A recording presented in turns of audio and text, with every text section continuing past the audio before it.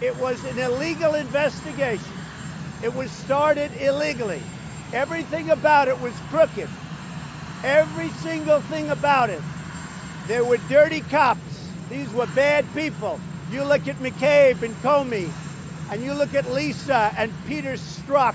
These were bad people. And this was a, an attempted coup. This was an attempted takedown of a president. And we beat them. We beat them. So the Mueller report, when they talk about obstruction, what, we fight back. And you know why we fight back? Because I knew how illegal this whole thing was. It was a scam. And what I'm most interested in, excuse me, what I'm most interested in is getting started.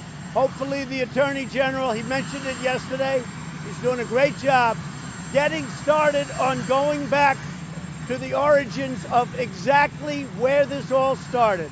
Because this was an illegal witch hunt and everybody knew it, and they knew it too, and they got caught.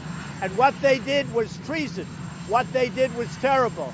What they did was against our Constitution and everything we stand for. So hopefully that will happen. There is a hunger for that to happen in this country like I have never seen before, including all of the millions of people that voted for me.